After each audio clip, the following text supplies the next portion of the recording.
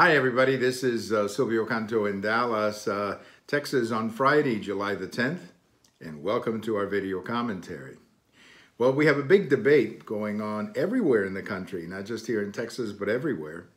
A big debate about the kids going back to school. And let me just say up front that this is a complicated issue. There are good points of view on both sides. There are good people on both sides of this debate. This is not one of those black and white issues or right and wrong issues. There are complicated issues here because we've never been through anything like this before. I mean, we've never been through a situation where we literally shut down schools or shut down the economy, shut down businesses. We've never done that before. When we had pandemics in the past, we didn't do that. So we're navigating through some new waters and some difficult waters, and uh, it's complicated. I'll just put it that way. But in my opinion, they should go back. And they should go back on a case-by-case basis. Of course, every district, every state will look at its own situation and make whatever call they feel more appropriate for them. But they should go back because I think they're better off in school than they are at home.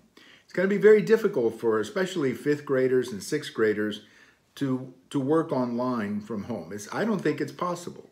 And I think they're better off in the school. Now, of course, that means the school is going to have to you know, take uh, some very new measures to make sure that uh, the kids are protected, that the teachers are protected. If some older teachers don't want to teach, well, we can make exceptions for that.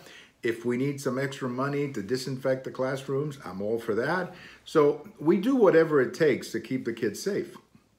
But they got to go back to school because I don't think it's healthy for them to be at home. Uh, for one thing, many of them don't have the resources at home to do classes online, and that makes it more difficult. So let's get back to school carefully and with uh, deliberate work, but let's get back to school. Thank you for watching. Uh, we have all of these on Twitter, on Facebook, on YouTube, and a bunch of others. And if today's your birthday, happy birthday. Bye-bye, everybody.